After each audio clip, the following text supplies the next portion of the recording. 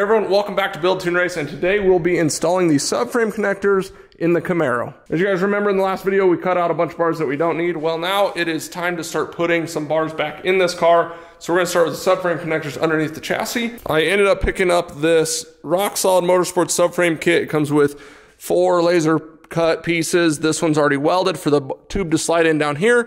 These bars are already cut at an angle, and where they install is right here. So as you guys can see, this is kind of the subframe there. We have it over there as well. I've been grinding and cleaning some of the area on it. And then on the rear, you have another little subframe here. I was thinking it was going to weld originally on this piece, but it's actually the inner piece here. So I've been grinding and cleaning on it to give me an area to weld. And then, as you guys can see over there, been doing the same thing. So kind of got that area cleaned up. So we're gonna weld against it. So of course you have one passenger side, one driver side. This is the driver side here what you do is it tucks right.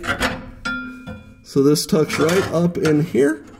As you guys can see, I had to actually notch my little piece just a little bit here extra.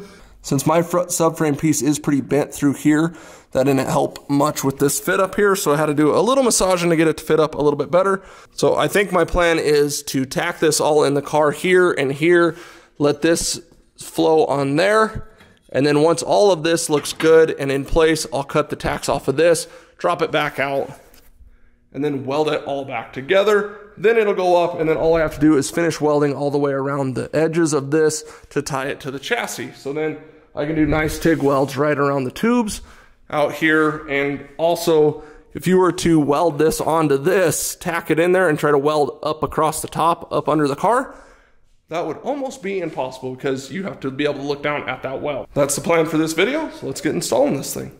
I got the TIG welder all fired up, got my rod here, pedal here. I also have a thumb control if needed to try to get up there uh, because sometimes you need an extra hand there or you can't get your foot where you need it, but we're gonna try this. I'm gonna try just holding it in place and putting a little tack there to hold it there. I tried using like some uh, magnets to try to hold it in place, but it wants to kind of cock it a little weird and all that stuff. So let's see uh, see if I can do this. On this first try, since I can't really use any filler material, I'm just gonna try to hold it in place, something like that. And I can tell right here, there's some extra little material from a pinch weld, so I'm gonna just weld right there and try to bridge it to where it'll hold it in place, and then I can get up in there and tack another piece. Whenever you're tack welding something like this, you don't want to go too much or like really weld it in there because then you won't be able to get it off very easy. So Definitely put your tack welds anywhere where it is easily visible to cut it so you can remove this thing, pull it back out, and weld it all up.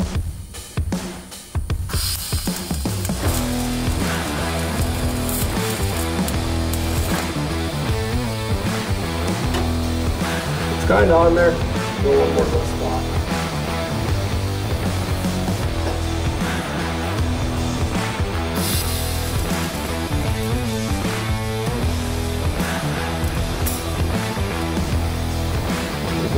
decent enough to leave it like that. I might add a little more weld to that because there's not much there, but add one more, make sure it's tight up in here. As long as that's the case, then I can put the bar in here, tack weld it all up, and then come back and cut these, release it, and let it drop. All right, so first piece is tacked in. Let's see if we're pretty tight. Yeah, I think we're tight most of the way around. Little gap here, little gap there, but this should work. Otherwise, it's pretty tight all the way around and should make it fairly easy to weld for the most part. So with these pieces and stock body panels and stuff, just trying to do what I can to get everything as tight as possible, say like 90 or 95% of the area that touches. I think that's not too bad as long as the welds will hold it so I can get my other piece up in here and then tack that on. So all I had to do on this is take my little flap disc and clean off the edge a little bit and then this plate slid right on. So it's actually all the way through. It doesn't butt up to it. It actually does go into that plate. So this kind of holds itself. So all I really need to do is get this held up into the car and then I can figure out exactly where that side needs to tack onto the plate that is now in there so I'm running into one little issue but I think I mean it's probably designed this way it doesn't go all the way up in there because it is hitting the floor. So I need to notch the floor just a little bit or, you know, use a fix all, knock that in a little bit, flatten the floor. So then this can go up here and tuck to it. So working on clearancing this little area right here is where the tube kind of rubs to get back there so it can sit flat up against the floor. So I took this little piece of round and I'm just using a jack to kind of bow the floor up just a little bit, taking it easy. Just kind of working that area up until I get enough clearance for the tube to just slide right along the floor and tie in back there. So we're getting closer, still got a little gap here. Looks like I need to kind of clearance this a little bit. And then up front here, we may need to clearance this little cross piece here, just a hair. It's real, real close, but uh, not sure yet. So we'll have to see. This might be, because on this, on that side, it doesn't look like I'm gonna have any of those issues. This side, this might not be helping kind of how this has been smashed in. If all this was down about, you know, that much more, then it'd probably be right on it, but that's just kind of what I'm dealing with. And chances are, if you guys have a high mileage Camaro, you're dealing with the same thing. Floor jack and on this jig with everything bolted down. Lifesaver for this deal. So I had a clearance just a little bit right there, and now it tucks up real nice and tight. And then back here, I ended up being back further than I thought, as you guys can see from kind of where I had it cleaned to where it sits now. It actually sits a little bit further back. This piece is kind of rotated, but I just threw that tack on there to hold it. Once I get that side tacked and everything's nice and tight with that bar, then I can rotate that little back mount and then I'll put a tack on the bar so it locates it. Well, everybody, welcome to Uncomfortable Positions to Weld in. So we uh, got a few tacks on there. Got a couple of them on there so then it won't go anywhere. And uh, now I can slide up out of the car and go back to the back and rework that spot. This install would be probably pretty decent on a like a four post lift, except for where I'm trying to jack up on the car and like kind of notch stuff. Um, because the, the car's mounted here and it's actually pretty solid. So that part's nice, but the uh, no room below me, definitely be better on a four post lift to do this part. So we got one side fit up, tacked up and everything. So I'm gonna go ahead and cut, I already cut the tack over there, cut the tacks over there, and drop that bar out of there, and then I can fully weld it up on the outside of the car.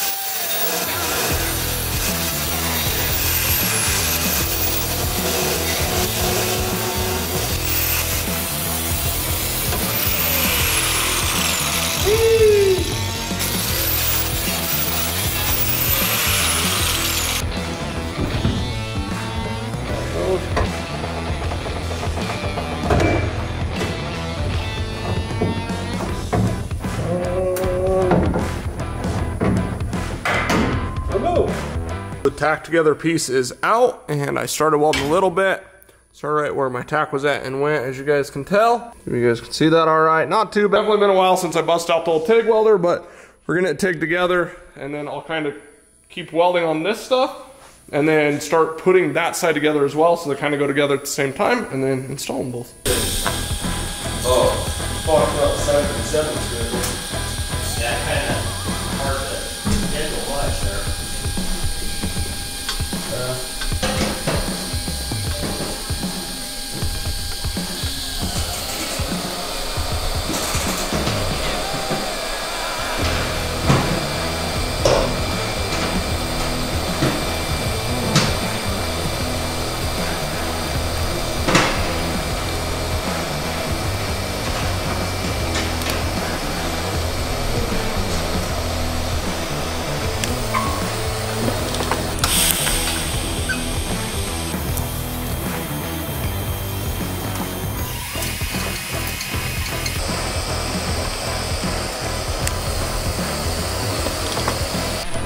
working on some of this, still cleaning over there, and even Alex showed up today. So I jumped over from yesterday, a couple hours in yesterday, and then we'll put in a few more hours today, try to get these brace. I'm gonna get that one all tacked up. I've been welding this one as I've had some time, so we'll just keep going. Alex's wise words of the day. What do you got? I don't know yet. Perfect. Working on the passenger side now, I kind of got it set up in here, still have a gap here, and it's touching here and here on the floor, so I'm gonna take my little round piece that I had yesterday, kind of clearance it, but otherwise up here, no problems. So up towards the front there, we'll have no issues whatsoever. So easy enough up through there. Just gotta clearance the back a little bit. Alrighty, so clearance it a little bit here and there. And now that fits tight, gonna go ahead and weld that up there. And then we can move up here and weld there and get this piece tacked up there. And passenger side is tacked together. So Gonna go ahead and work on welding that all up. Once we get this one fully welded, then we can reinstall them. And then weld up like portions of it and at least as long as it's solid enough then we start adding the bars to the rest of it although there's some stuff i think what we're to do inside the car is actually clean up so i need to like add this in there for the uh, tunnel opening and all that stuff but is cut out all like that bracing over there cut out all this bracing right here cut out the seat mounts just try to ditch some of this weight cut some of this out uh, just you know grind the little spot welds and get rid of it so then we can drop a little bit more weight and then we might even go crazy and cut some of the lower roof structure out of it to lose some weight out of the roof structure now that the car is getting a full cage in it with the funny car and everything else. So we can go ahead and lose some of that rigidity of that factory structure. That ain't gonna work. Nope. Already off the bad start. What kind of gloves do you? Oh, kind of like what I got? I have these red ones over here too that probably work for you. Yeah, that's for. They The fit? hand just goes in enough to hold it in, right? Switch! I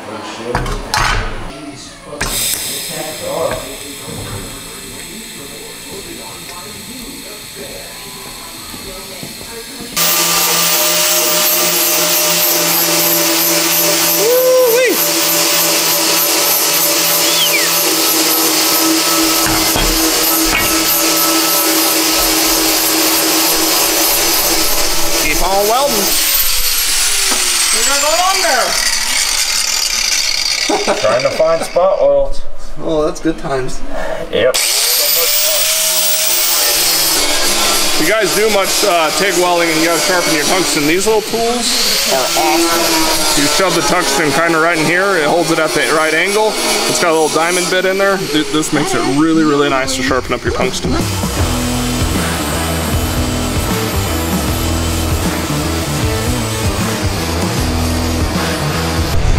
That easy.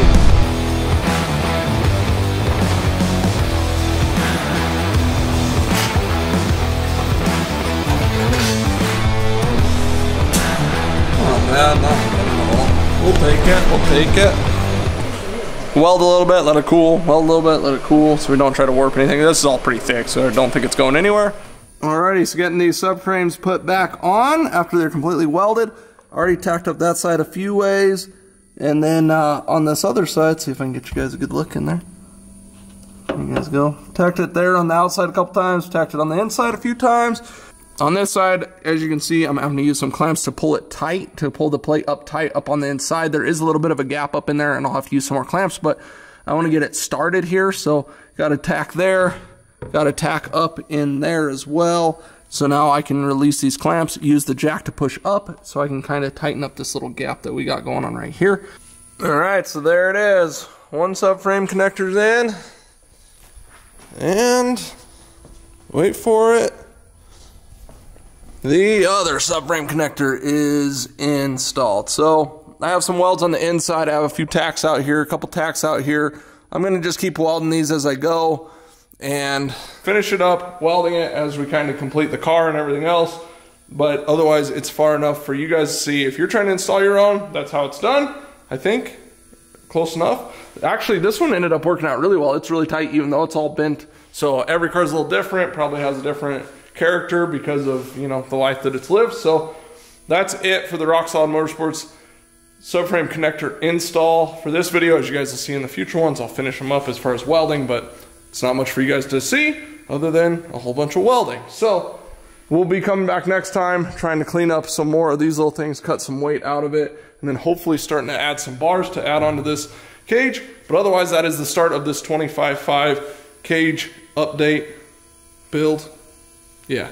So if you guys like what you're watching, hit the like button, leave me a comment below, let me know what you think. And otherwise, we'll see you guys in the next video.